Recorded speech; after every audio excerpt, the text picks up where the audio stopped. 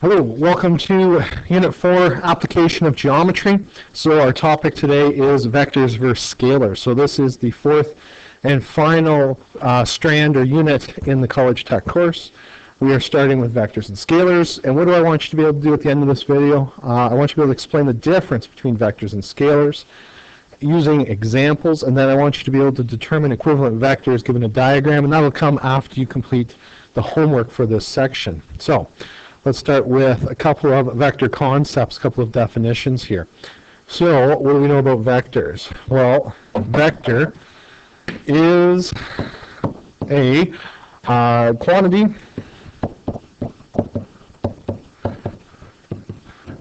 that has both magnitude and direction.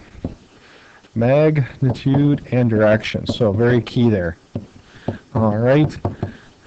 So when we are talking about a vector, we are talking about something that has a magnitude or a length or a some some factor, and then it also points in a particular direction. Its counterpart, scalar, is a quantity quantity that only has magnitude. Magnitude. So some examples with this. So a vector and a scalar. So I'm going to tell you, you're probably, or you are, more familiar with scalars, and you just don't never called them that before. So here's where you start differentiating between the two. What is a scalar? It's a quantity that only has magnitude. So what is something that only has magnitude? Well, uh, grade 9, you do perimeter. Perimeter is 300 meters, for example. So i.e. 300 meters. You wouldn't say 300 meters to the left. That wouldn't make any sense. So there's an example of a scalar value. So you already know what, you already have worked with scalars. I'm just now quantifying, putting them into categories for you. Area. Area is another scalar, you'd say area is 300 square meters. You don't say 300 square meters up or down. You don't give it a direction. Volume, so you start seeing a pattern here. Volume, 300 cubic meters. Okay, not a vector, not a vector. It only has a magnitude. Distance. Okay, so distance, that is a scalar quantity. So how far is it to Stratford? It is 30 kilometers. Obviously not quite accurate. Um, speed. Speed is also a scalar. How fast are you going? I was going 100 kilometers an hour. The vectors then. Vector is something that requires direction. So if people have been that have taken the grade 11 physics, this is going to be this is going to seem fairly a lot of review, and it is a lot of review, but for people who didn't take the physics, this is going to be new. So perimeter area volume, they don't have counterparts in terms of vectors, but distance does. We call that displacement. So displacement. So how do you get to Stratford? Well, you would go 30 kilometers, and then in square brackets, I would put the direction east. So how do I get to Stratford? You go 30 kilometers east. So it's a more how do you get there answer versus distance is just how far is it. Speed's partner, speed does have a partner, it's called velocity. So velocity is just speed with a direction. 100 kilometers an hour. Okay, how fast are you going? 100 kilometers an hour. Not very impressive, but if you give a vector 100 kilometers an hour backwards, well now that's kind of freaking cool. All right, because going backwards at 100 kilometers an hour is not something that's overly common. All right, acceleration. Okay, acceleration due to Earth's gravity. When you press down on the accelerator in a car, you're accelerating. So you need to indicate which direction. So 5 kilometers per hour squared forward. All right, so those are measurements of vectors. They have both the two necessary components here. We have a magnitude and we have a direction whereas over on the other side you have magnitude only. All right, so you got to ask yourself, is a direction important here? If the answer is yes, then you are dealing with a vector. Vector notation. All right, let's talk about a couple of the vector notations that exist out there. A vector, if I want to draw a picture of a vector, it is a line, looks like this, and it has several key or very important components. Where we started, where we put the dot, we call that the tail of the vector. At the arrowhead end of it, we call it the head of the vector. And then the length of the vector, how long we draw the vector, is our magnitude.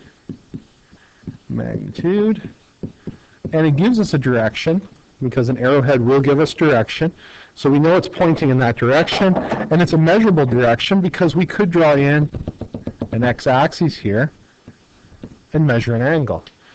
All right? So those that's the pictorial or the geometric representation of a vector. So the geometric representation of a vector is the arrow. You don't have to mark tail, head, and magnitude. That's just for your terminology. What happens if you want to write up a therefore statement? Well, we can call or name this vector algebraically, and we could call it the u vector. Okay? Components here is the name or variable we're going to use and that harpoon that's on top. All right. You can draw it as an arrow over top. I just do the half arrow. That is your vector notation. That tells me that u is a vector. So that means that I'm dealing with something that has both magnitude and direction. Uh, a couple of the ways you could show it.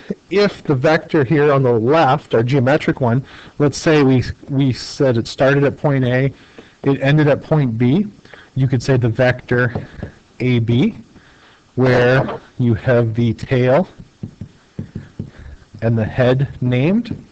So you could do it that way.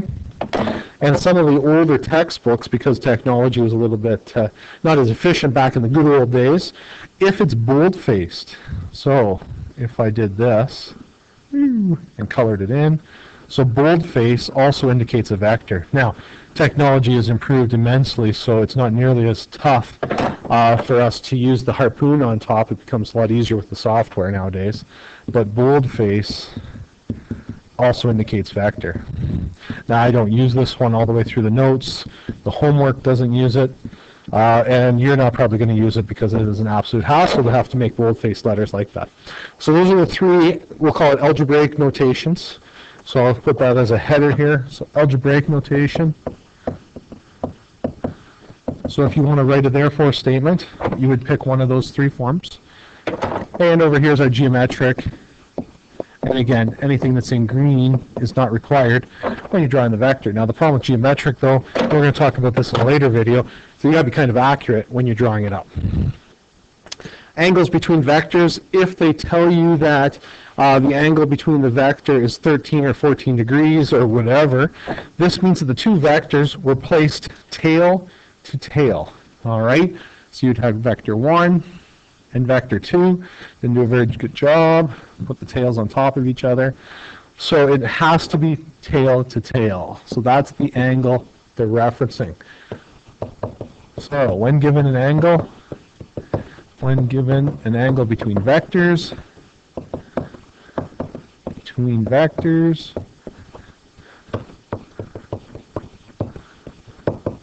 the vectors must be arranged tail to tail.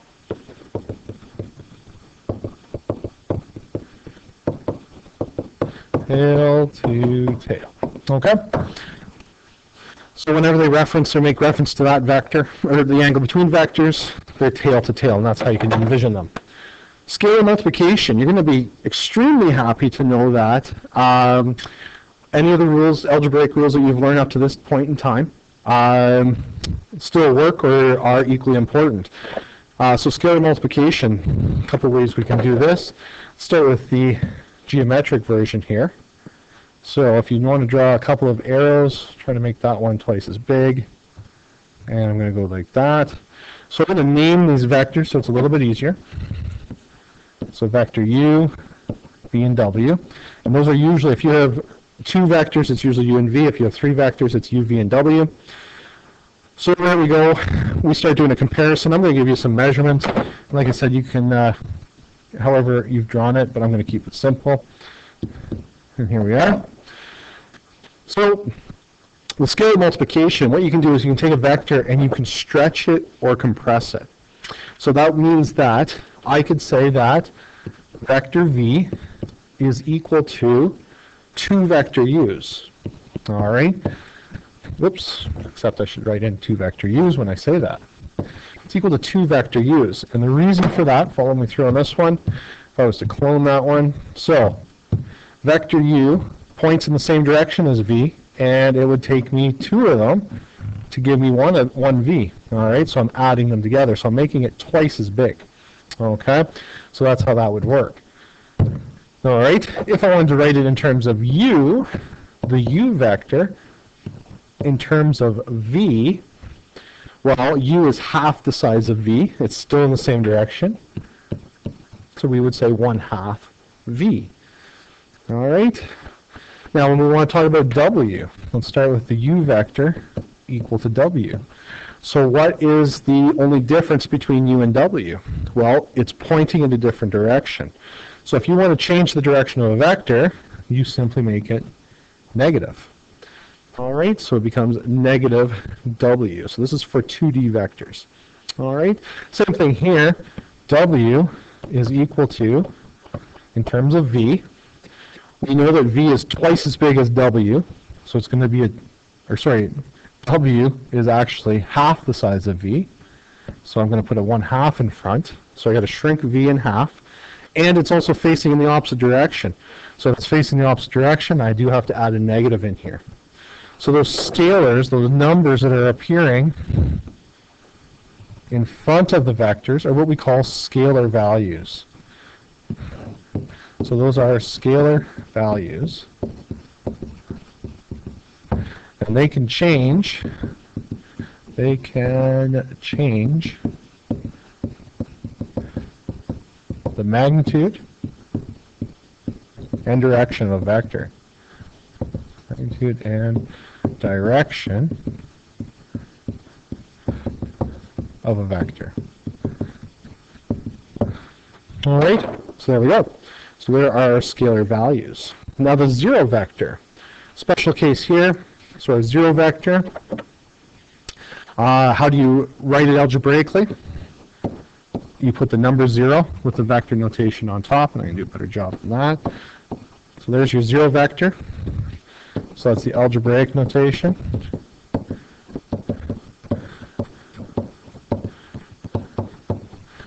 And geometrically, it would appear as a dot.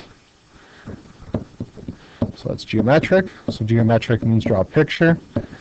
And it would simply be a dot. All right. Now the zero vector. The zero vector has a magnitude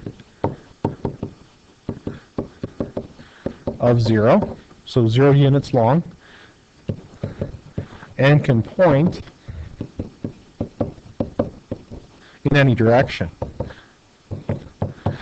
So if we want it to point left, it's pointing left. If it's pointing, we want it to point right, it will point right. All right, so there's some of the terminology. I have a couple of examples then I want to go through, starting to get you used to it, comfortable with it. Like I said, if you've already taken physics before, this is going to go along real nice. For those that haven't, uh, the note is geared toward you. So if you have any questions, please let me know, and I'll answer them as soon as I can.